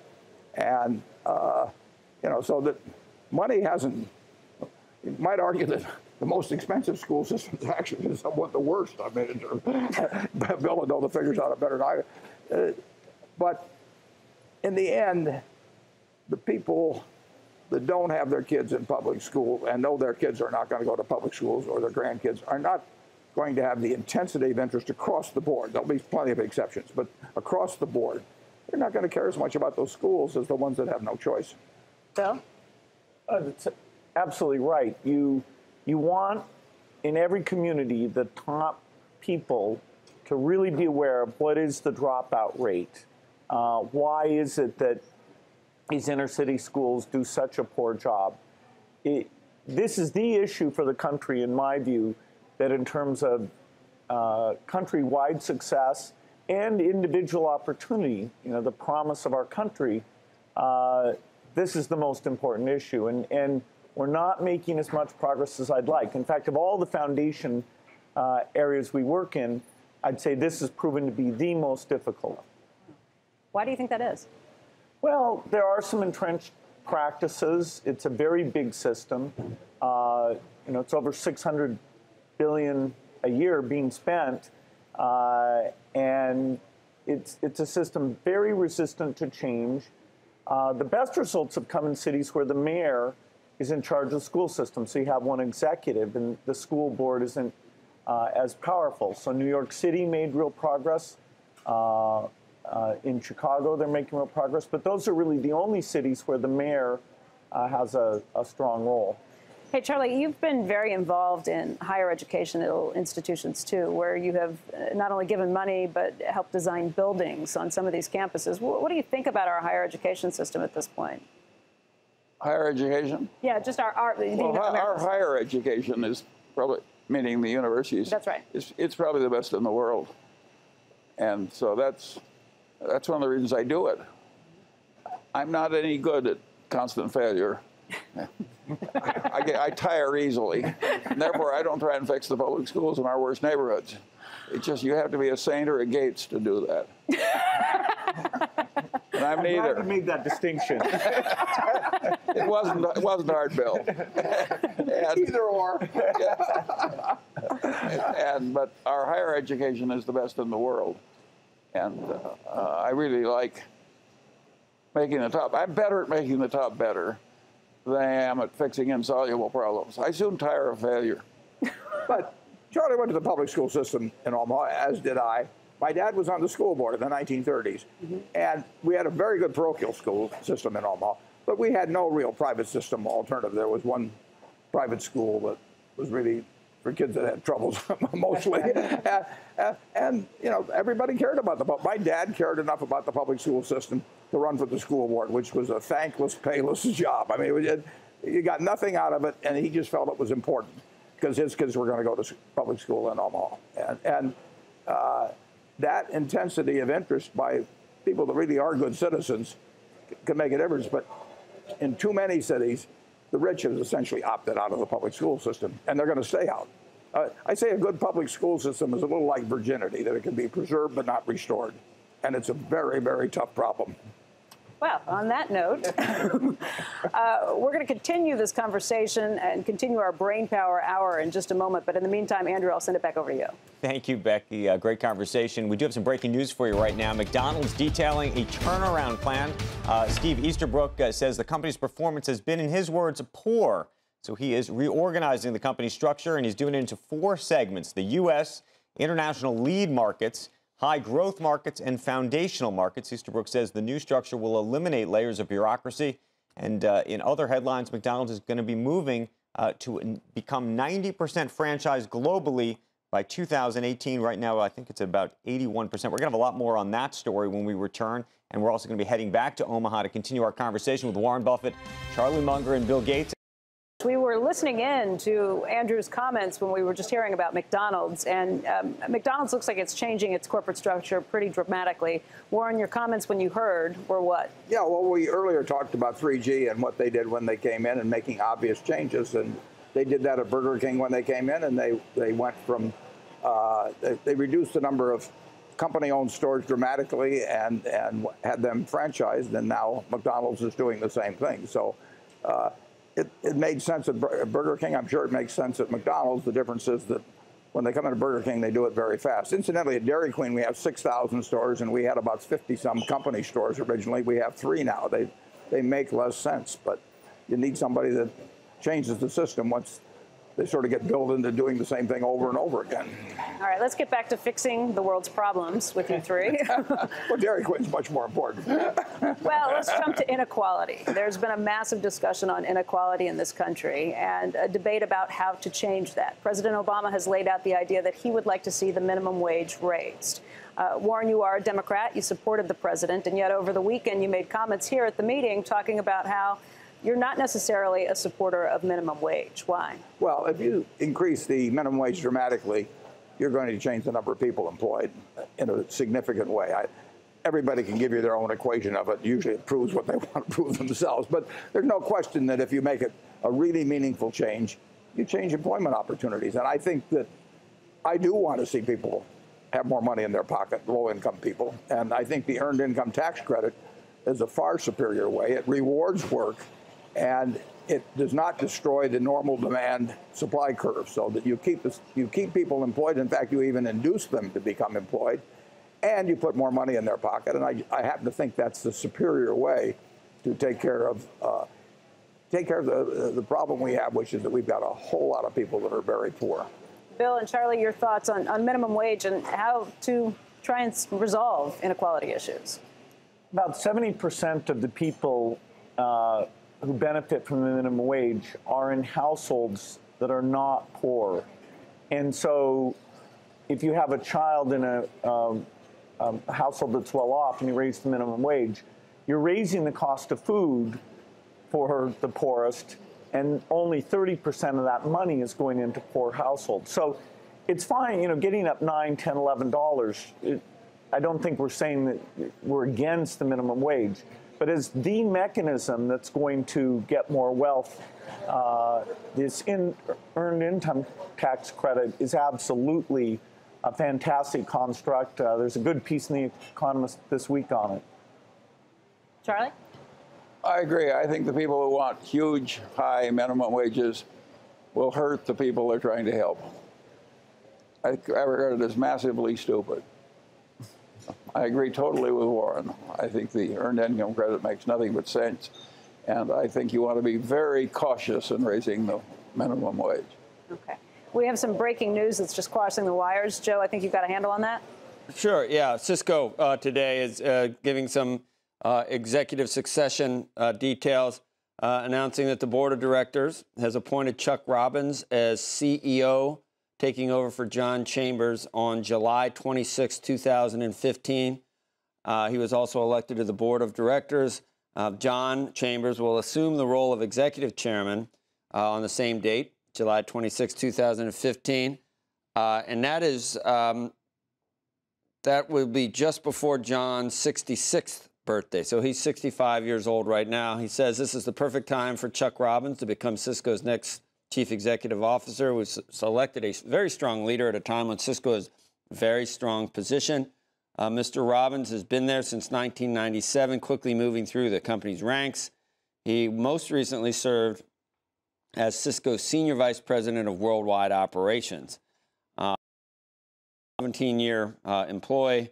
Uh, and um, Carol Bartz, who is the lead independent director on Cisco's board, says that I've had the opportunity to watch Chuck grow as a leader over the last 17 years, and I'm convinced there's no better uh, leader for Cisco today. He's demonstrated the same energy and passion to make Cisco great that John Chambers uh, has demonstrated during his entire 20 year career uh, as, C- right. as CEO. He's been much speculated about as a potential this, successor. This guy, there's yeah. been a number of articles. What it does, though, mean is there's a number of people who didn't get the job. There was a little bit of a bake-off going on uh, over the past uh, couple of years. Some people had speculated that Gary Moore, who was their chief operating uh, officer and longtime IT exec, was going to get it. He's the same age, though, as Chambers, so so he was probably not. Uh, uh, the person, also a guy named Robert Lloyd, executive VP of Worldwide Operations, had been in the hunt along with uh, Overbeek and Chuck, well, and Chuck Robbins got got the job. Uh, question, of course, is when these things happen, do any of those folks end up uh, going elsewhere? We will see. Andrew, Joe, we have some thoughts from our panel uh, on this news too. We've been listening in. Warren, you want to jump in? Well, Berkshire's having a board meeting in a couple of hours, and uh, we don't like to get one upped by Cisco, but I don't think we'll have an announcement on successor management. Bill, your thoughts? I mean, John Chambers is somebody you've known in the industry too. Uh, John's done a fantastic job, so it's a, a big spot to fill. John's, you know, energy and optimism about our industry. John's bringing together partnerships with Microsoft and others. Uh, you know, he's he's amazing, and uh, he's he's had the job a long time. Yeah. All right, gentlemen, we'll send it back to you, but we do have more coming up and other problems of the world that we're going to tackle in just a little bit. Welcome back to Squawk Box, everyone. We are speaking with uh, Warren Buffett, the chairman and CEO of Berkshire Hathaway, Vice Chairman Charlie Munger, and Berkshire board member and Microsoft founder Bill Gates this morning. These, again, are three of the smartest, most educated people on the planet. It's people who are constantly curious about things. So we're taking this opportunity to uh, pick their brains on some of the most pressing issues that are, are facing uh, not only the country but the world right now. Um, gentlemen, we have not talked financials with you this morning or anything that's happening uh, around the globe when it comes to the economy. But I think probably one of the most difficult tasks right now would be to be sitting in Janet Yellen's chair um, and trying to decide whether to raise interest rates and by how much. We spoke a little with Warren about this this morning, but Bill, if you were in Janet Yellen's position right now, what would you do? Well, I'm not an expert on that challenge. It's the environment with low interest rates globally is so unusual and it really shouldn't persist. It, it creates problems in terms of leverage and bubbles. Uh, but how we get out of it uh, without creating some economic setback, it's very, very difficult. Uh, she faces the fact that most of the other central bankers are still lowering interest rates. Uh, so people do expect the U.S. to sort of take the lead in pushing our way out of this situation. But it's not, not a set of easy choices she has. Charlie, how about you? What would you do? Well, I'm deeply suspicious about printing money and throwing it around instead of printing money and building infrastructure and so on. So I, I get very nervous. I have made very, uh, all these central bankers who've pushed throwing the money around as if that were the only tool they had. I think there's a lot to be said for, for physical infrastructure interventions by governments. And I think that everybody is relying too much on these monetary tricks. But Well, how long do you think you're going to have negative interest rates in Europe? I don't have the faintest idea, but it's the situation is very peculiar, and I don't think it's good. Warren, what would you do? I mean, based on what Charlie and Bill have just said, you laid out the same issues earlier where this is a conundrum. However, there are bubbles that are going to be inflated potentially. Sure. Money, a lot of money around means it's got to go somewhere. if if you can borrow money at negative rates, it has to be very tempting to borrow. And we borrowed the three billion in euros there the other day. I mean, it, we certainly were affected by the fact that we could get a rate of one percent or something like that blended for a dozen years. And, but I do think, and I may be wrong on this, but I, I think that Janet Yellen's hands are somewhat tied by what, what Draghi is doing. I think it'd be very hard to raise rates dramatically or uh, significantly from here and have Europe continue to do what it's doing. That it, would, every person in the world with money would be thinking about do I move it from X to Y, and and those flows could become very uncontrollable, and they could create their own momentum too, which always happens in markets. I mean, when something gets going, it has a tendency to keep going and go bigger and bigger until some huge counterforce hits it. So I do not envy her job.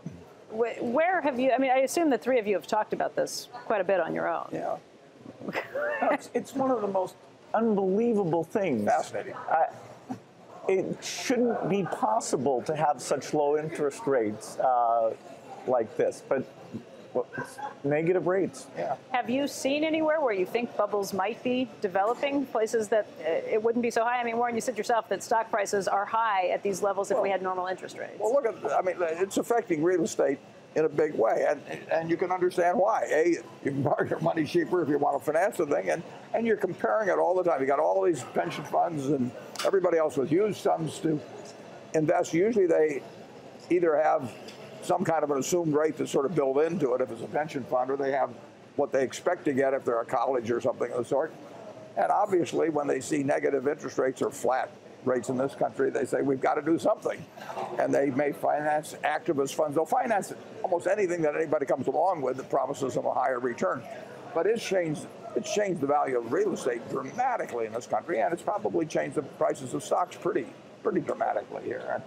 And the, what's happened, of course, is it's gotten more extreme as it's gone along. Instead of moderating, you you have a situation now where when Poland goes to negative, it sells a negative interest bond. I mean, you know that you, you know, you're not in Kansas anymore. The temptation to say borrow 10-year money to buy stock back in is very high because although the P multiples are high by historical standards relative to interest rates, they're actually quite a bargain. Uh, let, let me ask the three of you this. If you had to put a bet, because these uh, interest rates have also been wreaking havoc in the currency markets, we've watched what's happened to the dollar, but if you had to place a bet for the next 10, 20, or 50 years on the dollar versus a basket of other currencies, which would you take? Charlie? Well, I'm not sure my judgment on that is better than anybody else's. We have not made a, our way in life by guessing currency rates. I, go ahead. Bill? I'd, I'd probably pick the uh, Chinese currency. The U.S. currency has this unique reserve role, which right now is making it stronger than the underlying um, economics would, would suggest. And, and the Chinese currency is more priced to their economics. So I'd, I'm not, not to be disloyal, I love the dollar, but uh, I, I wouldn't put my bet on it. Warren? Well, you said a basket, so I, I w- I would take the dollar against a basket of other currencies. I think that other countries will, at, at, as a group, will behave more foolishly in terms of their currency than we will. I, I wanted to ask Bill how much Chinese currency he had in his pocket here. I have none. You do travel to China a lot, though. I do, but somehow I don't end up using cash all that much. I, Other people buy things for him. he gets upgraded.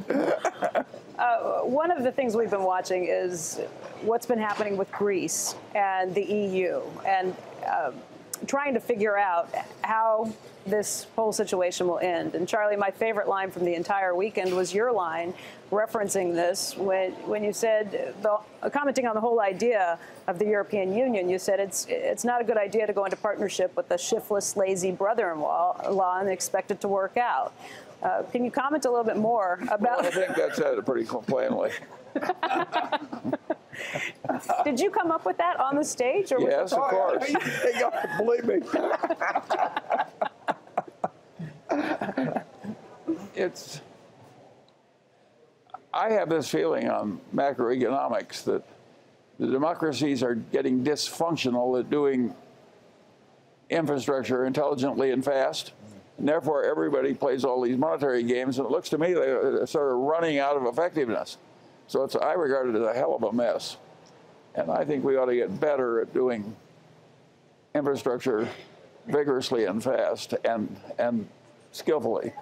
And practically everybody's terrible. We're getting to be more like India. It's not a good idea. There's probably not much coming from Washington at this point. To There's, I don't think you would get the houses of Congress or anyone in government to agree no, no, I think to the plan. That, that's the, I, one of the reasons they're relying so extremely on monetarism and why the results are so extreme is that they don't have any alternative. Right. And I think that's probably a mistake. Would the central bankers be better off just? Well, they have no power to create infrastructure. But doing nothing, but doing nothing to force the pressure back on the fiscal authorities. It probably is better right. if they do what they're doing than nothing. But it is by no means sure to work well. Look at Japan. Right. Let, us circle back to this question of the European Union. I, I want to get Bill and Warren's thoughts on this too. Uh, this is a tough situation, and it looks like it's coming to a head with Greece, particularly in May. What happens?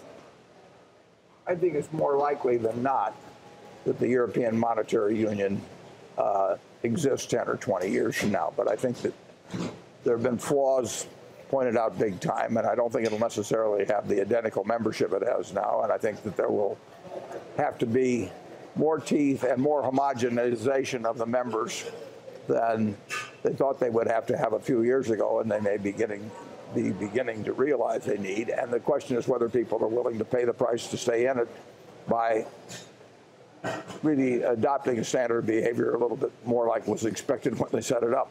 But it it has to evolve somewhat to work, and I think it probably will, but who knows for sure. Bill, you agree with what Charlie said about um, the brother-in-law? I love my brother-in-laws. Uh, it, the construct where you have no fiscal control and your exchange rate is locked, that that doesn't work. And some people argue that Greek le- Greece leaving would, you know, sort of enforce that they're serious about rules and uh, they're going to be more homogeneous. It's kind of scary in the short term if that that happens because it does disrupt markets. There are people who are assuming Greece would stay in, contracts that were made. You'll have a lot of ambiguity about uh, financial relationships uh, in Greece. So I, I, agree with Warren, there's so much commitment to it. If you ask German voters, you know, should we exit the euro, you don't have much sentiment, even though they, what comes along with that now in terms of subsidizing the credits of the other countries, they don't like that. So there's a contradiction there. Uh, are they willing to make some, some substantial change?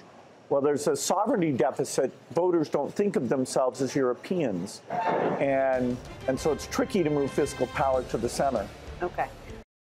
Welcome back to Squawk Box, everyone. We are speaking this morning with Warren Buffett, Charlie Munger, and Bill Gates. We've been talking a lot of a lot of big issues. Um, gentlemen, I thought we could talk a little bit about the healthcare system. And Charlie, I'd like to start with you since you are the co-chairman of a of a major hospital.